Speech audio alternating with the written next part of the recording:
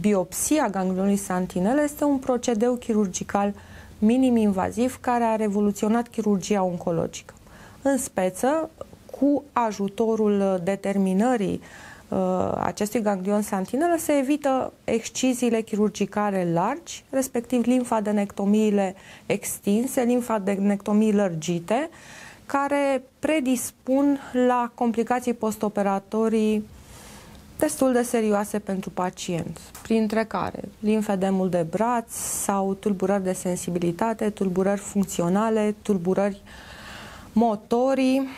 Ganglionul santinelă face parte din sistemul limfatic și deservește teritoriul în care a apărut prima dată boala respectivă. Vorbim acum de cancer. Utilitatea determinării acestui ganglion santinelă apare în cancerele limfofile, adică în cancerele care se răspândesc în organism prin uh, drenajul limfatic.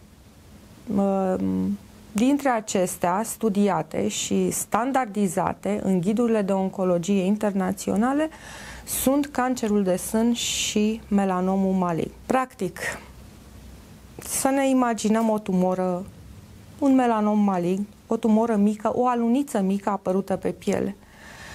Acea aluniță este deservită de un drenaj limfatic, de un circuit limfatic. Prima stație la care ajunge limfa din acel teritoriu se numește ganglion santinel. Ținând cont de premiza că melanomul malign este un cancer limfofil și astfel el uh, se va răspândi, va da metastaze în organism, noi reperăm prima stație de autobuz, prima stație ganglionară în care ar putea să apară celule maligne.